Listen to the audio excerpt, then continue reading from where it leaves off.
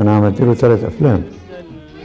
عملت له أيام وليالي بنات اليوم وموعد غرام. صوت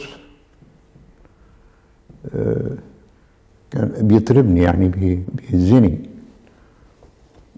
أخلاقه عمره ما اتاخر في ميعاد. يعني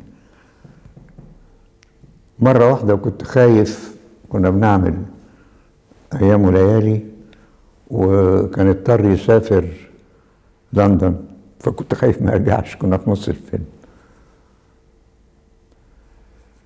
بيمثل بالنسبة لي حاجات كتير يعني أصل اللي بيمثله مش قادر أعبر عنه.